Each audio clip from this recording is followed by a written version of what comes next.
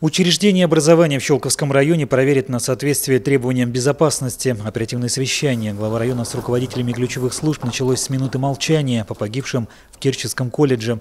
Алексей Валов дал указание проверить учреждение образования на безопасность. В каждой школе, в каждом заведении социальном, у нас практически везде есть такие возможности проходить психологические тесты.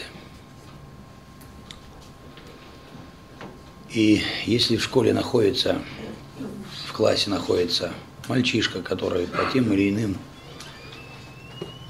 своим особенностям характера не может ужиться в коллективе, надо бережно отслеживать это, тщательно отслеживать это. Администрация района формирует дорожную карту деятельности инвестиционного блока на 18-19 годы. В основу положены результаты проведенных переговоров с потенциальными инвесторами.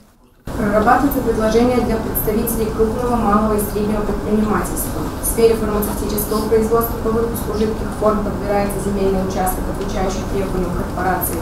Проведены переговоры с сетью мебельных магазинов КОФ о возможности предоставления земельного участка на уровне профильного заместителя состоялись переговоры с финансовыми компаниями, готовыми обеспечить поддержку предприятий. Прошли встречи с руководством компаний на предмет расширения действующих производств, привлечения инвестиций в новые направления. Я думаю, что там все получится так, чтобы у нас была дополнительная инвестиционная привлекательность. И вот по разговорам э, вчера при посещении технопарка э, мы услышали, что и резиденты есть. В социальной сфере район спланировал строительство семи детских садов в период до 2021 года. В программу мы попали с семью детскими садами. Вот, хочу поблагодарить за работу Николаевича, Наталью Владимировну, всех коллег, кто принимал участие. То есть э, программа по строительству детских садов до 2021 года рассчитана сумма инвестиций составит Щелковский район около миллиарда 200, 1 э, миллиард 200 миллионов. Наряду с дошкольными учреждениями запланировано строительство 9 школ, 7 за счет средств Московской области и Щелковского района, 2 на внебюджетные источники. Пристройку к Медвежьеозерской школе планируют построить к концу 2018 года. Строительная готовность на сегодня составляет 50%. Школы в Солнечном на 22%. Вот в эксплуатацию запланирован на четвертый квартал 2019 года. Школы на 275 мест по улице Шмидта и 825 мест в микрорайоне Финский находятся в активной стадии проектирования. Готовится заявка по выбору застройщика школы в Жигалове. Не стоит на месте выполнение программы переселения. Более 100 семей, проживавших в аварийном и ветком фонде, получили квартиры. По целевой программе «Молодая семья» городского поселения Щелково выдано 15 свидетельств на получение социальных выплат. Всего за 2018 год мы переселили 55 семей из аварийного жилья и 54 семьи из ветхого.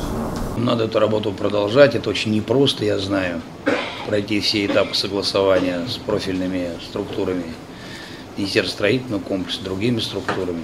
Но эту работу надо активизировать.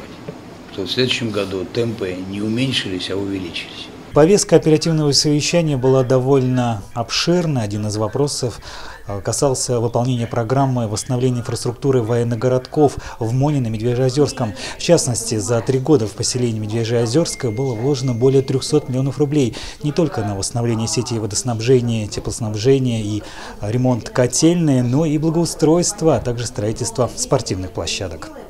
В Монине продолжается реконструкция станции обезжелезивания и регбийного стадиона. На 75% восстановлен дом офицеров. Готовится документация на реконструкцию плавательного бассейна. В общей сложности на восстановление инфраструктуры бывших военных территорий инвестировано более 700 миллионов рублей. Михаил Налетов, Сергей Максимов, телерадиокомпания «Щелково».